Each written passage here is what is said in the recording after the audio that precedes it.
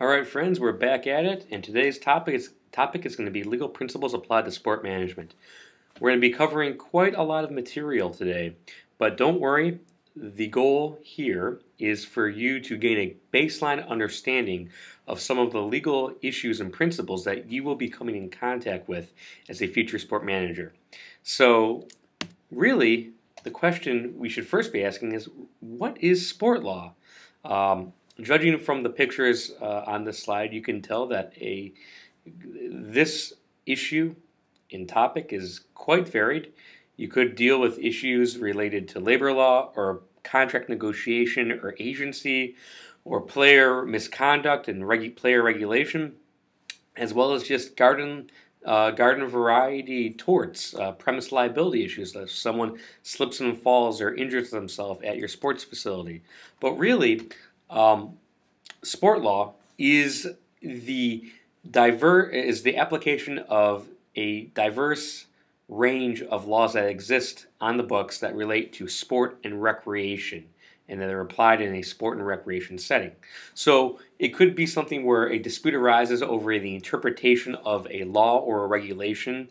Um, and in that situation, oftentimes sport lawyers work with their client or work with their organization and represent them with uh, resolution of that issue. And there are actually uh, very few laws that are specific to the sport industry, but they do exist, like regulations of sport organizations or, or sport agents. Uh, and as well, uh, over the years, Title IX, which was initially supposed to apply to colleges and higher education, but now specifically really heavily impact athletic departments. And then there's also different types of laws that impact the sport management industry, whether it's statutes, which are just laws that are passed by our elected representatives in the legislature, or there's administrative laws, which is rules and regulations that are promulgated by enforcement agencies uh, that are overseen by the executive branch of the government. And then finally, the law of private associations, which are rules, regulations, laws that are passed by private entities such as the National Football League or the National Football League Players Association or the NCAA. And they create their own rules that govern their own um, own procedures related to their business. So if a player engages in misconduct, not only might that player that that um, agent break um, a federal statute or a state statute related to agent athlete conduct, but also the NFLPA the NFL, if it's an NFL agent, might have specific rules on the books uh, to discipline that that uh, that agent. So, uh, very wide range of rules, and uh, they all impact sport managers in different ways. So, why study sport law? Why do we care? Well, as you saw uh, in the beginning couple of lectures and earlier in the book, the sport industry really is now a multi-billion dollar multinational international industry and we're talking about high dollar amounts um, so the fact that so much money is at stake and the legal issues can be rather complex. Sport managers really need to understand the basics of the law and how that works and how that impacts their employer and their job as a sport manager. And when issues do arise whether it's a dispute or if it's potential legal liability, um, we as sport manager must understand how to detect liability, mitigate liability, and potentially settle any legal issues that occur within the legal system.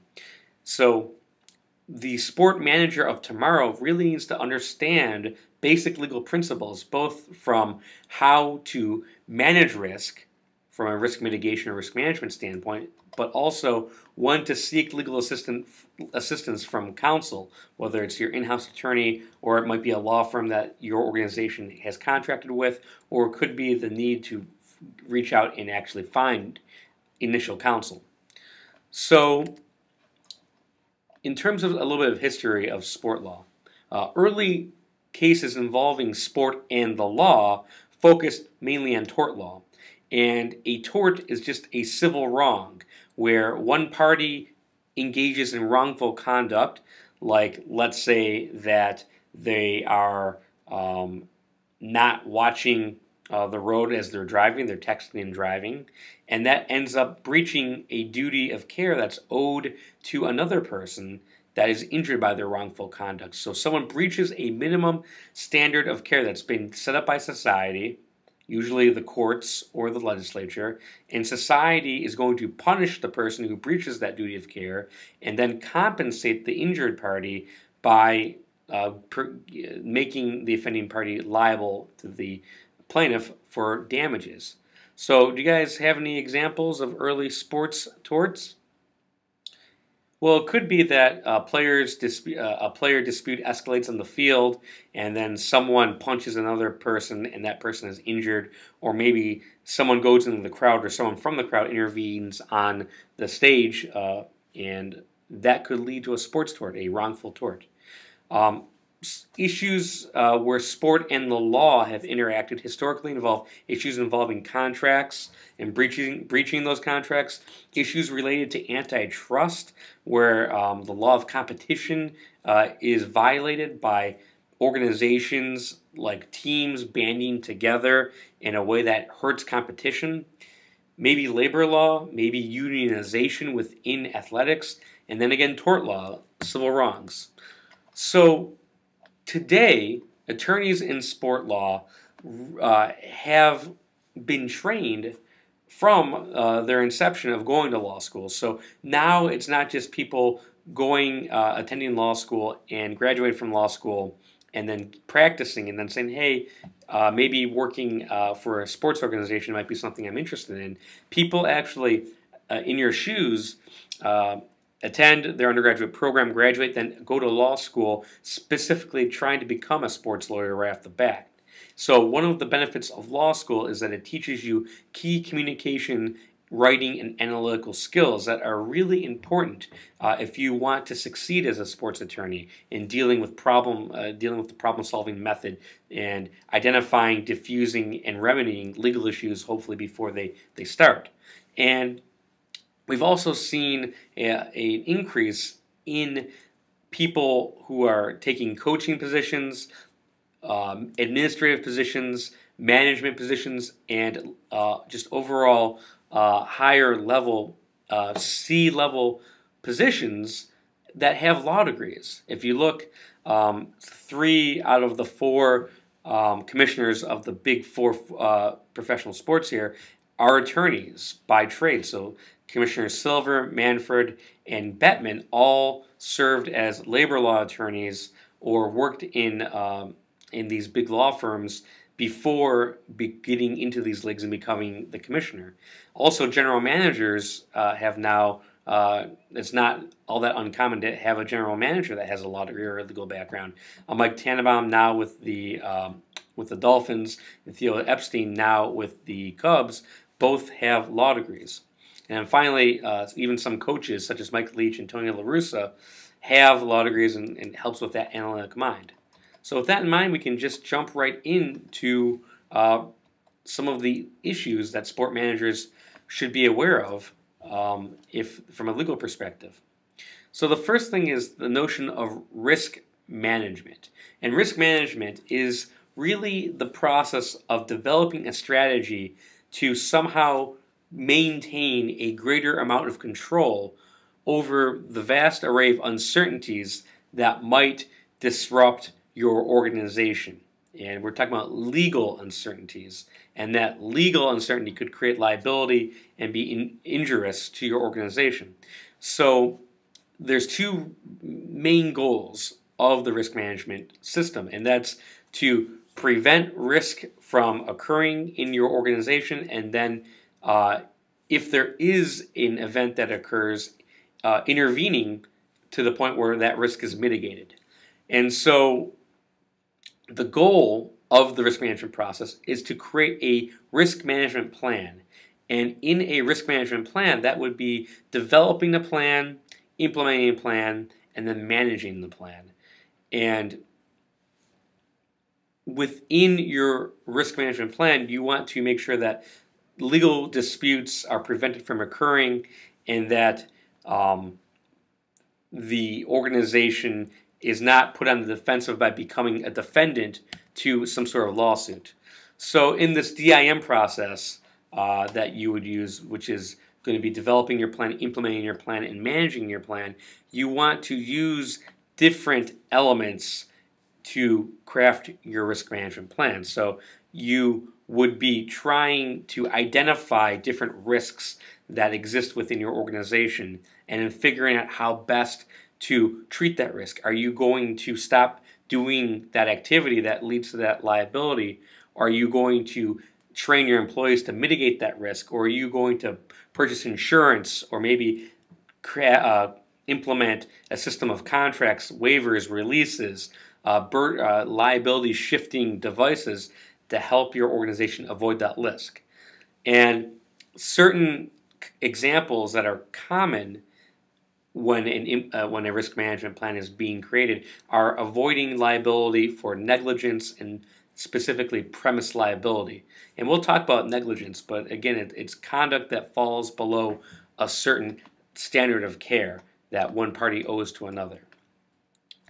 For example, when I was an attorney for the at the time the Phoenix Coyotes, um, I was assigned the, the task of heading up the risk management committee. And my initial objective was to create this diverse committee that included many different stakeholders so that I had a varying degree of, um, uh, of opinions and perspectives. And with each of those stakeholders, I wanted to make sure I had someone from security, someone from guest services, someone from HR, someone from operations, um, so that I could get that wide range of perspectives in creating and identifying the risks that might uh, be specific to my, my client, and then trying to craft a risk management plan that dealt with uh, identifying, treating, and then implementing my plan. And we've got a couple of examples here. But whenever you're dealing with um, risk in a risk management plan, you want to make sure that once you've developed your plan and implemented it, that you're constantly getting feedback from those within the organization so that the plan can be constantly updated, revised, and reflect best practices. And I've got uh, a resource on Blackboard that helps you to further understand uh, the concept of risk management and the process of creating and implementing a risk management plan. So this is a living, breathing document that is very important to organizations. Above and beyond the process of risk management, there's specific areas of the law that often interact with sport managers. First one is the law of private associations, and we usually see the law interacting with sport where um, a court is asked to review the actions of a private association like the NCAA or the NFL and see whether or not their action or their conduct was wrongful. Secondly, we, we see uh, oftentimes individuals be, uh, who have been injured uh, by a sports organization or have suffered an injury while engaging in an activity want to sue that organization or an individual under tort law. So we'll talk about that. Next, there is constitutional law, administrative law, agency law, and also contract law. And we'll talk about these concepts. Um, the first one is the law of private associations. And think of it this way Can a court step in and discipline the NCAA? Well, that depends. Well, what does that depend on, Jeff? Well, I'm glad you asked that. So we need to look at the law of private associations. And this we need to keep in mind is that these organizations, like the NCAA, like the National Basketball Association, like the uh, the Women's uh, Professional Hockey League, the Women's National Hockey League, these are volunteer, non-governmental entities. They're private leagues, and therefore they are governed by their own principles. So if a plaintiff has been injured by a private association, so back uh, many years ago, there was a college, uh, an NCAA athlete who wanted to challenge uh, the rule that prevented uh, college athletes from uh, entering into the NFL draft. So, if that player challenged that rule, the that player becomes the plaintiff, and he or she would ask the court to intervene. And whether or not a court is going to intervene and review that sport organization's decision historically depends on several factors. But the default rule is that courts traditionally do not intervene with the private affairs of a of a private organization because that private organization knows its business the best out of usually anyone, and courts and judges don't have that knowledge. But the exceptions are if the rule being challenged exceeds the scope of authority of that private association, or that association has violated one of its own rules, such as, uh, let's say that the organization says a player is to be disciplined only one time for one per occurrence, and that player is disciplined twice for one occurrence, that could be breaking its own rules. Or if a if a private association has rule uh, uh, uh, ruled in an arbitrary or capricious manner, meaning that it's inconsistent and, and unfair, um, or if the, the rule violates the, the public policy established by society, um, then we would see a court stepping in most likely to review the questionable conduct that's being complained of. Um, sometimes a court is going to be asked not only to grant money damages, which is traditionally the only the, the default type of remedy a court can grant, but also sometimes a court would be asked to um, award injunctive relief. So we'll talk about that. So monetary damages is the traditional um, remedy that a court is going to provide to the plaintiff in the event that he or she wins. So monetary damage is just money, and it it it, it uh, traditionally compensates the plaintiff for their loss and punishes the defendant in a public policy way that the defendant's usually not going to engage in that same conduct that led to the uh, liability in the first place. But in some situations, money is not enough. Um, sometimes a court is asked to grant injunctive relief, and that is uh, at times uh, because the plaintiff is trying to um, avoid some sort of irreparable harm. Uh, and it's granted to the plaintiff because money is not enough to compensate their injury. So, for example, um, let's say that you had a, a, gir um, a, girl who was a high school soccer player, and she wanted to play in the boys' competitive soccer league, um, and she's quite good. But the team coach is told that the girl only uh, that that only girls can play uh, on girls teams, and that if she plays in an upcoming tournament on the boys team, that that team would forfeit the games in which it, she plays. So let's say that comes from the league's uh, the the league's governing body. So the coach and the girl's parents go file a lawsuit on behalf of the girl because she's a minor to obtain an injunction to allow that that female to play in the boys' team. So the question is why an injunction as opposed to monetary damages? And it should, I imagine that you would agree that money damages is not really going to make that girl, that, that female athlete whole. She's going to want to be able to play in that game. And so if she if she's prevented from playing in that game, then no amount of money would make her whole. So that's an example here. So, okay, now we're going to move on to tort law. So, like I said, a tort is a civil wrong that's committed by one person against another. And usually, the victim suffers the injury because of the uh, defendant's improper conduct. So, the court system looks at torts as a public policy rationale. Uh, we're going to going to compensate the victim for their injuries, but then punish the offender by making them liable.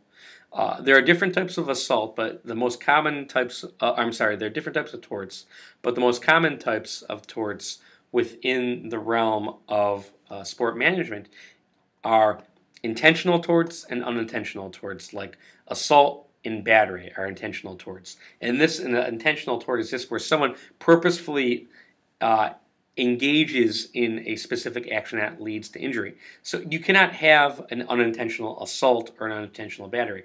An assault is where I'm purposely trying to make someone apprehensive about an, an unwanted or harmful touching that's going to be happening right now. I, if I don't if I don't intend to do that, but I still cause someone that apprehension, you're not going to have an assault. On the flip side, a battery is a harmful or offensive touching, so this is the completion of the assault. Um, you can't have an assault or battery without that intent. But if you do, you could also have that intent, even if you don't mean to do it. Recklessness can be the uh, if you're so reckless that a that a reasonable person wouldn't have done what you're doing, that could be sub be substituted for intent. So why are sports in torts so common? Well, oftentimes sports has an element of um, a physicality that we often see that can lead to lead to an injury. Um, so that's why sports and torts uh, uh go hand in hand. While intentional torts, while assault and battery are intentional torts, negligence is an unintentional tort, which means that it's some sort of conduct that not while the person doesn't do it on purpose, but it falls below a standard of care that's set by society and results in an injury. So it's an act or omission that causes injury to someone who the other person had a duty of care. And for the elements, you need duty, breach, causation, and some sort of actual damages, some sort of injury. So let's look at the uh, a couple of examples here in terms of duty, breach, causation, and damages. Duty is established either by the relationship of the parties or that the law requires there to be a duty of care or that there's a special relationship between the parties and that someone voluntarily assumes that that that duty of care. Here we've got a couple of examples let's say that you buy a ticket to a NASCAR event and you're sitting near the front row. And what do you usually see? You see a big fence. And you see a big fence because it's plausible it's, or even somewhat likely that there could be a crash on the, on the track and that debris could fly into the crowd. So because there's a foreseeable risk of injury, that there could be a, a crash, and that, that debris could go into the into the stands, that the person who has uh, that took your ticket that that you they you gave them a benefit by paying for the ticket and then in exchange for the ticket you got access to the facility they have a duty of care to protect you from foreseeable risks of harm which is that there could be a, a crash and that debris could go into the stands so by virtue of you paying that price and exchanging value to give that money to the, to the promoter and they give you the ticket, that is a duty, that is a, a relationship that has been created by between the two parties. And if they fail to protect you by perfect, protecting you from foreseeable risks of harm, that is a breach of the duty of care. And if that breach of the duty of care is if you can show as the plaintiff a direct connection between the breach and the injury, that is what causation is. It's a direct, uninterrupted line between the breach and the injury. We also have on the on the right hand side uh, a tragic, uh, another tragic, tragic example where a fan was struck by a puck uh, that went into the stands uh, during an NHL game, and there was no netting around the entire rink. There was only netting in the most high high trafficked areas where pucks are being shot, which is behind the, the two nets. So the plane, er, the, the, the, the deceased family filed a lawsuit on her behalf against the Columbus Blue Jackets, and they said that the Columbus Blue Jackets breached their duty of care because it should have been foreseeable that these pucks could go into all areas of the stands, and because it was a foreseeable risk of harm that someone could be injured by them, that the Columbus Blue Jackets breached their duty of care. And they ultimately, I don't remember if they actually won, if there was a settlement, but it seems like they had a good shot to win here. Moving on, another popular area involving sport and the law is the law of agency. Agency uh, law is just where As, uh, it is a situation where one individual owes legal duties to act on another person's behalf. So here, the agent would owe the principal that those specific duties. Um, you would have um, you would have a fiduciary relationship. So in the fiduciary relationship, um, there is the the principal, who is the one that contracts with the agent, manifests consent to have that agent act on his or her behalf, subject to the agent's or subject to the principal's uh, control. So, agency an agency re- relationship is created by contract, and so both sides have uh, uh, give in a contract. Both sides promise to give something to the other side, and then both sides receive something from the other side. So, in the realm of sport administration, we often see sports agents who sign a, a client who's an athlete to negotiate a contract on their behalf. And based off of that contract, the player is the principal, and the principal owes the duty to compensate the agent for whatever the agent negotiates on behalf of the principal. And they also need to reimburse that principal or reimburse that agent for any money that the agent has expended on behalf of fulfilling the fiduciary relationship. On the flip side, the agent owes to the principal different fiduciary uh, duties of care. The agent must obey and execute the instructions of the principal, must be loyal, meaning that the agent can't engage in any self dealing, can't put himself or herself before the principal. So the agent's principles or the agent's um, the agent's best interest is subordinate to the principal's best interests. And then the agent must hold must actually hold him or herself out to the standard of care by which he or she holds herself uh, themselves out to be. So then we move on to the law of contracts. So like I just said earlier, just like an, how an agency relationship is formed, a contract is a written or verbal, sometimes verbal, agreement between two or more parties that creates obligations and provides benefits going both ways. So they create legal obligations to fulfill their promises based on the contract. And in order for there to, to have a valid contract exist, there needs to be offer, acceptance, and consideration.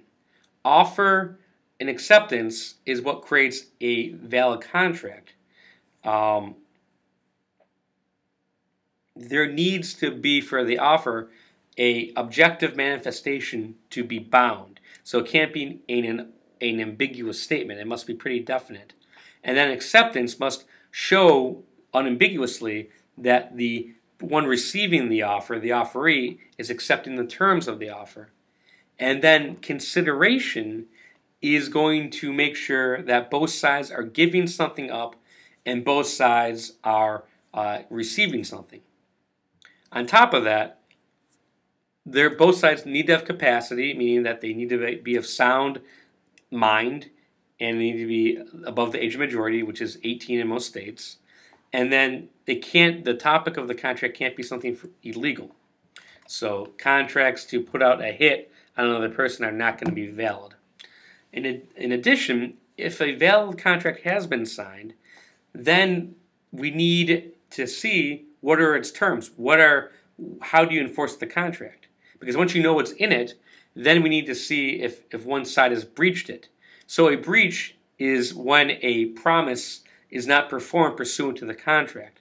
And within the law uh, of contracts, someone can breach a contract partially, which means that some elements of the contract are breached but don't frustrate the entire purpose of the contract. And then sometimes a contract can be materially breached, which means that the entire contract is breached and that that party who has been aggrieved can can can uh, pursue a remedy immediately. versus if it's just a partial breach, then you might not be able to just stop performing the contract and immediately try to pursue a remedy. A remedy is how that side who has not breached the contract is made whole. Uh, and then uh, you can either pursue uh, that pursue a monetary or monetary relief or injunctive relief. So if you have a uh, if you signed a endorsement agreement if, as an organization with a famous uh, athlete, and that athlete does something to embarrass the company, and let's say that there's a morals clause in that contract, then potentially that contract could be materially breached and that company could get out of that contract and seek damages. In addition, as I said before in the risk management part of this lecture, waivers and releases are also contracts that operate to uh, to um, they operate in a way that that that um, in consideration of that party seeking to gain access to that facility that they will give up their right to sue. So again, it's just a contract. The, the party wanting to gain access to the facility is granted access, but they, they give up their right to sue.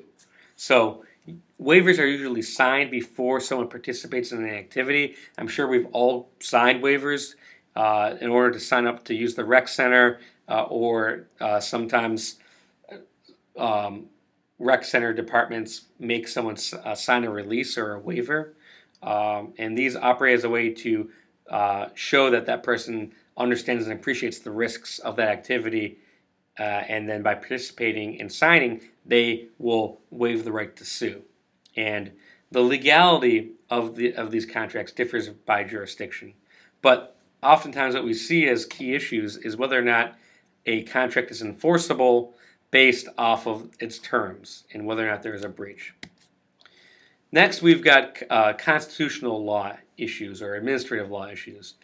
Um, due process issues occur if a organization has acted in a way that deprives someone of a life, liberty, or property interest without their right to hear the charges against them, confront their accuser, if evidence is uh, not, uh, not allowed to be presented to show that the person is actually uh, innocent or, or that this is unjust. Um, oftentimes, we see due process issues occur with NCAA uh, issues or professional sport leagues. So, for example, if um, the commissioner of a sports league uh, summarily suspends a player uh, without giving them any sort of notification as to the nature of the charges or allows them to respond to the charge or present take evidence, that could be something that um, deprives them of due process. Further, if a organization in sports is a state actor, which is a governmental entity or a private entity that has a certain association or entanglement uh, with a governmental entity, then additional due process is required, uh, and this sometimes creates an issue within sport. Uh, equal protection issues uh, occur where similarly situated people are being treated differently let's say that a, an employer has a policy that is facially neutral but actually discriminates against one class of people based on the fact that uh, of their gender or their race or their national origin, and so then that could create issues that uh, that sport managers need to be aware aware of. Unreasonable search and seizures, so security issues that also comes up at time from times time to time, and then gender equity is also an issue with Title IX, where if um, in college athletics, if uh, athletic departments are not offering substantially similar uh, amounts of opportunities for athletic teams based on the population of their student body, uh, and, and, if funding is not equal, etc., and other um, elements, uh, other benefits uh, need to be equally afforded to both genders, uh, this could create Title IX issues. We're also seeing increased issues in, uh, involving protection of student athletes. Um, and this is coming in the form of player unionization. So, what is a union? A union is really an organization that works on behalf of a certain class of workers to provide mutual benefits, aid, and protection of similarly situated people. Um, we're seeing uh, college athletes trying to unionize so that they can gain additional bargaining power. And what we're seeing them seeking is really just a seat at the table to gain additional benefits in terms of uh, getting a piece of the pie that the NCAA generates. So increased money, increased uh, uh, standards, uh, increased uh, standards in terms of less working hours, uh, and guaranteeing access to um, medical treatment in the event that someone is injured and can't play football, etc. Um, and I'll leave it to you guys to think about how might unionization in college athletics really change um, college athletics as a whole. But just think about the arms race and in the gulf between the haves and have-nots. If if there's a require if if organs if student athletes unionize and gain more bargaining power, and let's say that they demand to be paid a, uh, a stipend of thirty thousand dollars a year in addition to their scholarship, think about the financial ramifications. And then finally, we have intellectual property issues. Intellectual property is intangible property, and the intent of intellectual property law is to protect the value, the goodwill of a good, service, or image. Uh, oftentimes, more recently, we see issues involving intellectual property related to trademarks and right publicity. Trademarks in the sense that it's a word or a name or a symbol that's used by a manufacturer or an organization to identify its good or service and then distinguish it from others that might compete with it. So um, the the, um, the professional sports leagues all have logos and, and taglines. Uh, the 12th man, uh, what does that relate to? Does that relate to the Seattle Seahawks or Texas A&M College Station? Um, and then we're also seeing issues involving trademarks and uh, ambush marketing. Usually, when there's a mega event, or such as the Olympics, we see issues of ambush marketing pop up where sponsors who have paid just ginormous amounts of money to affiliate with a mega event like the Olympics and, and be a sponsor, they're having to fend off competitors. Let's say that Coke is the sponsor of the Olympics, but then Pepsi tries to create a false impression uh, that they also are, are, a sponsor of the Olympics, but not paying that money. That's uh, where ambush marketing comes into place. Additionally, right publicity is an issue where players or, or sufficiently famous athletes, um, their name or likeness or other identifying, identifying information are being used in a way that makes those other parties, uh, uh, that allows them to make money. So there's a commercial appropriation, and that commercial appropriation was not was done without that athlete's uh, permission.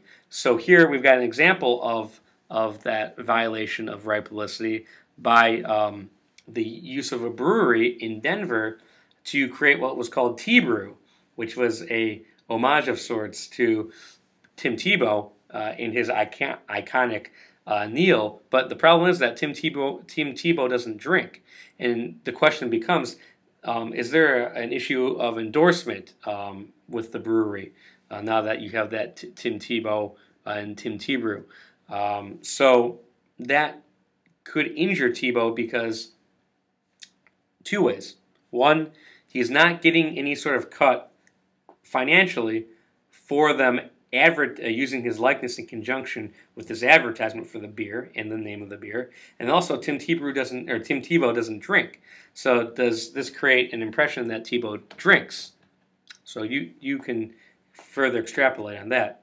Um, we also have seen the, the Ed O'Bannon lawsuit against the NCAA wind its way through the courts involving violation of players' right of publicity through NCAA video games and the use of players' image by the NCAA, and that's uh, going to be a significant issue for years to come.